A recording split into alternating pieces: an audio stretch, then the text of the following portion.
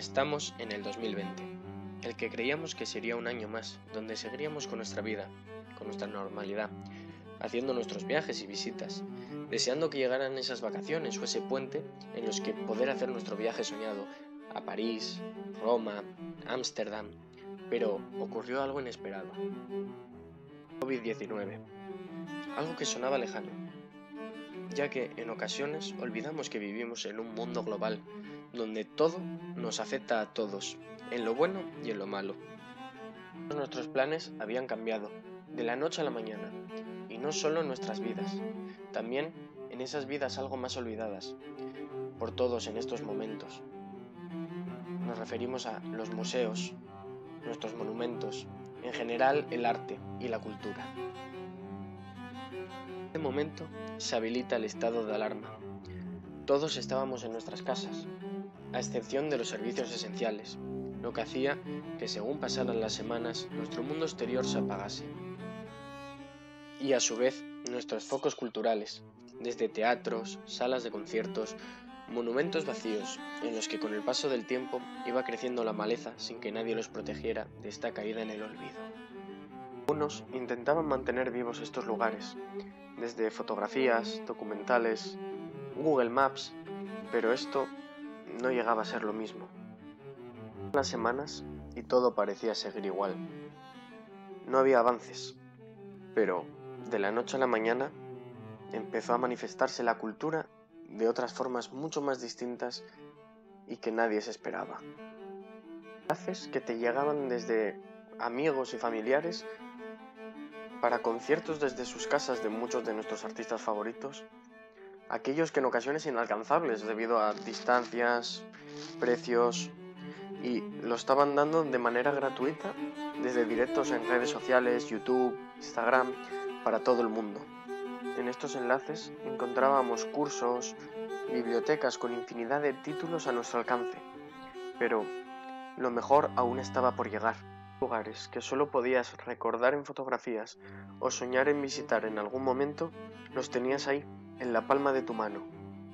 Salir de tu casa y sin gastar dinero, puedes pasear por el Hermitage, la Casa Verde de Frida, el British.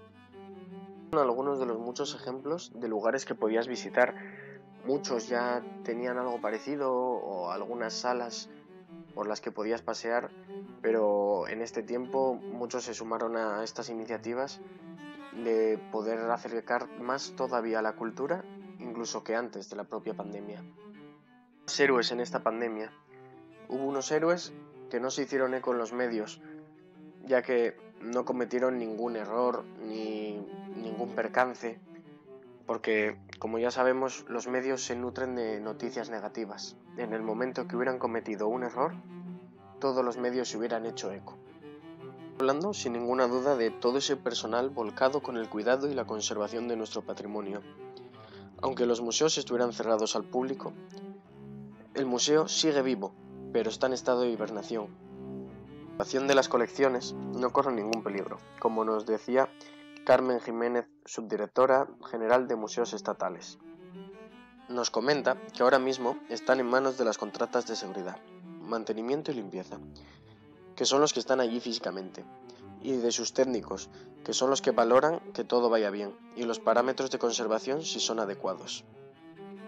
Otro ejemplo de estas labores menos conocidas está en la preparación previa de protocolos de limpieza y desinfección, que han sido bien estudiados por los restauradores, para que a la hora de llevarlo a cabo no hubiera daños, como fue el caso de la Biblioteca Nacional.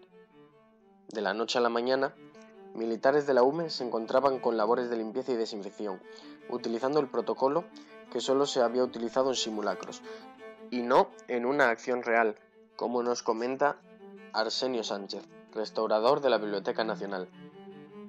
Nos comenta que se trata de un ejercicio en un escenario real, dentro de un plan de gestión de emergencias en el patrimonio cultural, que ya habían empezado hace cinco años, pero hasta ahora solo eran maniobras, en el estado de alarma se daban las circunstancias perfectas para una intervención real.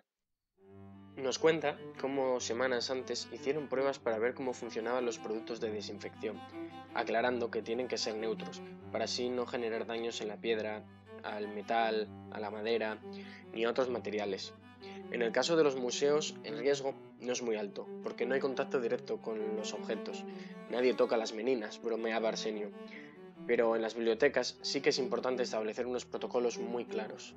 Son algunos ejemplos de esos héroes que no salen en los medios, restauradores, conservadores e incluso los jardineros, que hace unos meses estaban limpiando de maleza San Julián de los Prados después de tanto tiempo. El humano necesita el arte, siempre lo necesitó, pues es el motor de nuestras vidas, empezando por el hecho de que da miles de trabajos, desde la artesanía hasta el sector del turismo, pasando también por la investigación. El arte es algo que estuvo con nosotros desde que el planeta existe, pues desde que el ser humano es capaz de levantar el brazo y a crearte, sea para decorar o para documentar sus hazañas. Los griegos acuñan un término fundamental para aquel entonces y sobre todo para la posterioridad que viene a ser la catarsis, es la curación del alma mediante el arte. ¿Qué sería nosotros sin Miguel Ángel, sin Brunelleschi o sin Dante? Y creo que después de lo que hemos vivido y lo que aún nos queda por vivir nos será de mucha ayuda. El simple hecho de ir a dar un paseo por el casco antiguo de una ciudad o visitar la última exposición contemporánea que se inaugura. El arte es un gran refugio y una gran curación para el alma. Sin necesidad de ser un experto en él, pues algo que es maravilloso es capaz de entrar dentro de ti y captar. Durante la pandemia se ha comprobado que funciona muy bien el tema del streaming a la hora de reproducir conciertos, espectáculos de DJs y en un futuro después de que esto termine, aunque se pueden volver a realizar espectáculos en directo, muchos artistas van a optar por hacerlo de manera online, sobre todo los que menos cotizan ya que es más barato y pueden recaudar aún más dinero. El streaming es gratuito casi siempre, por tanto los que asistan a su show podrán pagar menos de entrada que si tienen que pagarla en un auditorio, ya que en este último entraría el asunto de pagar la infraestructura del local, además de otros gastos de gestión. Además, también se puede asistir más personas, algo que es en línea, eh, que si haces un espectáculo en un pub, por ejemplo, que el aforo tiene una limitación y entonces ya puedes dejar entrar menos personas. También es más cómodo para el público ya que se ahorran cierto dinero y de este modo pueden asistir a más eventos, por lo cual sale ganando tanto el artista como el espectador y lo que es más importante, la comodidad, ya que si por ejemplo yo ahora quiero ir a un concierto en Nueva York, no puedo por ciertos compromisos personales, pero si resulta que puedo acceder a ese espectáculo mediante mi ordenador, pues ya está, ya puedo asistir. El arte después de esta crisis se va a ver revolucionado y las nuevas tecnologías y las redes sociales serán las protagonistas, ya que no te hace falta ir con tu muestra de arte en galería en galería, porque ahora con hacerte un perfil llamativo en Instagram o en otra red social puedes conseguir abrir bastantes puertas. Tanto los creadores como los espectadores van a tener que acostumbrarse a esto y adaptarse, pues es un cambio. Gracias al cierre de las comunidades autónomas o incluso al cierre de fronteras con otros países, y el no poder marchar a otros lugares se pudo fomentar otro tipo de patrimonio, como viene siendo el gastronómico y el natural, dentro de una propia comunidad, lo cual es beneficioso para la propia persona a quien hace la visita, pues enriquece con lo que hay en su entorno, en su tierra, y también es muy importante para los pueblos y las ciudades que se visite, ya que está atribuyendo positivamente a su economía. Después de grandes revoluciones, cambios sociales, surgían formas nuevas de ver el arte, soluciones artísticas innovadoras, pensamientos y filosofías inimaginables. Pues el mundo siempre volvía a nacer, las personas no eran las mismas después de aquellos inmensos cambios y el arte y el pensamiento anterior no les servían en absoluto. El patrimonio en general cambiaba y se adaptaba a las necesidades y costumbres de la población, porque efectivamente la cultura está al servicio del pueblo. Después de la Revolución Soviética ya no se pintaba lo que se pintaba durante el mandato de los zares. Después de la Segunda Guerra Mundial se comienza a hacer un arte popular. Después de la Segunda Dictadura Española surge la movida madrileña. O Picasso cuando tuvo que dejar lo que estaba haciendo y pintarle Guernica debido a un gran bombardeo. Lo que nos lleva a la conclusión es que en unos pocos años, y ahora también, la sociedad ya no va a ser la que hace un año, la sociedad va a cambiar y hay gente que tiene que adaptarse y reinventarse y, ya se verá qué futuros gustos o corrientes van a emerger. Según periódicos como La Vanguardia, muchos de los empleos relacionados con el mundo del arte están en peligro. Los más afectados son claramente los que requieren de presencia física, como lo son el personal de museos y galerías. Los mismos museos están muy afectados ya que algunos viven con el dinero de entradas, que para ellos supone el 80%. Más suerte tienen los que mantienen eh, con el dinero del Estado, pero aún así es difícil todo lo que se saca en conclusión después de haber vivido esto es que las tecnologías son de gran ayuda ya que nos mantienen fuera aún estando dentro de casa. Por lo cual la creación de aplicaciones para el móvil sería una gran salida y también daría trabajo para muchos especialistas de distintos campos, porque es un trabajo que no solo requiere de un artista y un historiador, sino también de programistas, desarrolladores gráficos y demás tenemos que ir abandonando un poco la idea de que solo se puede ser maestro o guía si te dedicas a este campo y observar a tu alrededor qué tipo de posibilidades hay, qué es lo que demanda el público y cómo puedes tú ofrecérselo. La investigación también va a haber que explotarla bastante ya que van a surgir ideas y corrientes nuevas. El arte es fundamental para el ser humano, eso está claro.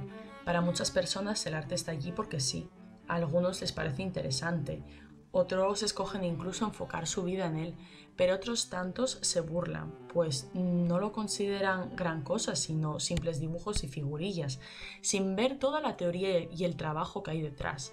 Otros muchos no muestran interés por él porque lo ven algo tan cotidiano, sin plantearse qué sería del mundo en su ausencia y cómo habría sido el ser humano. En mi opinión, sin la existencia del arte seríamos meras máquinas. Tras tantos tipos de personas y tantas visiones hacia el arte, lo que hemos observado es que durante el confinamiento mundial muchas personas que antes no mostraban tanto interés por ello, lo hicieron y empezaron a buscar acerca del tema, ya fuera en la Wikipedia, en YouTube o realizando recorridos a través de las galerías más notables del mundo, gracias a que estas mismas han facilitado una plataforma que lo permite cierto es que otros museos, como el Hermitage, por ejemplo, lo tuvieron desde, desde que abrieron la página web, otros no. Vuelvo a remitirme a lo anterior que he mencionado del online y es que permite muchas ventajas para el consumidor, tanto sea para uno que lo haga para pasar el rato como para alguien del sector profesional del arte.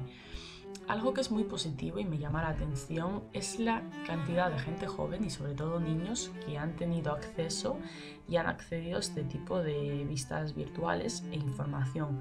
Pues creo que los sistemas educativos, no solo de nuestro país, sino del resto del mundo, cada vez le dan menos importancia al arte y a la creatividad tanto que incluso lo excluyen de programas educativos o lo tachan de simple pasatiempo.